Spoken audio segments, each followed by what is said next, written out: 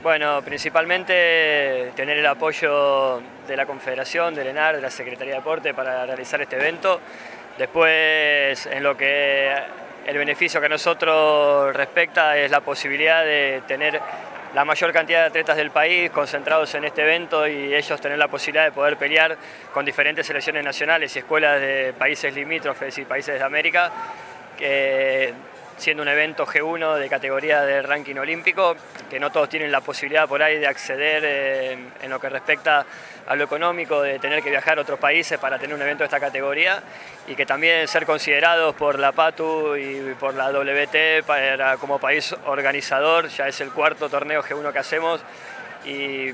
bueno, esto a nosotros nos da la posibilidad de crecer en lo que es deportivamente para las federaciones, para las provincias de todo nuestro país y que dentro de ellos puedan acceder a un evento de esta categoría sin tener que hacer una inversión bastante grande. ¿no?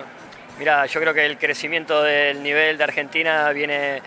viene en alza cada vez mejor, o sea, subiendo tanto en las bases, cadetes, juveniles como también en mayores, que también nos da la expectativa de poder proyectar. Hoy estamos trabajando fuerte en lo que es las bases en el proyecto 2020 y 2024 y generar el crecimiento que estas categorías nos da también a nosotros una evaluación certera de también dónde estamos parados deportivamente a medida que vamos viendo los resultados. Bueno, Buenos Aires 2018 tiene un equipo que viene trabajando ya hace tres años en un proyecto que estuvo basado por el ENAR. Eh, a nosotros nos dio un crecimiento también importante en las bases por la inversión que se pudo hacer en esa categoría, donde también los atletas tienen posibilidad de poder viajar a diferentes países, de tomar experiencias y calculamos que el año que viene van a estar en una performance muy buena, siendo país organizador y tratar de poder alcanzar eh, uno de los resultados más grandes, que es un Juego Olímpico Juvenil, y que esos mismos atletas después los podamos proyectar en lo que va a ser 2020 y futuro. Pero el proyecto 2018 a nosotros nos sirvió muchísimo para el crecimiento de las bases, de que los chicos puedan llegar más experimentados y a su vez llegarán mejor formados para cuando, cuando pasen al seleccionado nacional mayor. Bueno, yo creo que ya tenemos experiencia con lo que son los Juegos Olímpicos. A medida que va terminando un ciclo empieza otro. Ya nosotros hoy estamos con la cabeza en lo que es el 2020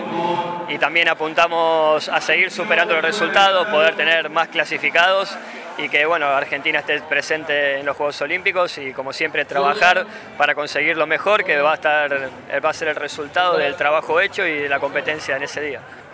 No, la verdad que para nosotros, bueno, poder vivir los 50 años del taekwondo es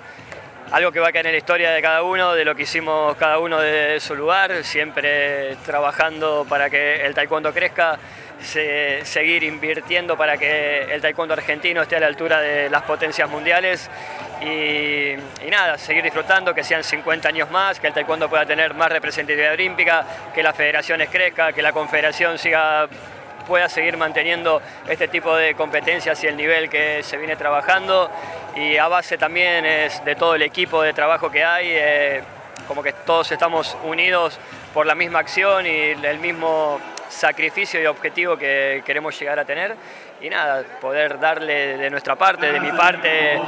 al taekwondo todo lo que de alguna manera nos devolvió a nosotros como atletas, deportistas, dirigentes, entrenadores y vivirlo de la mejor manera porque es algo que lo llevamos en la sangre y que queremos que nuestro deporte esté siempre en lo más alto.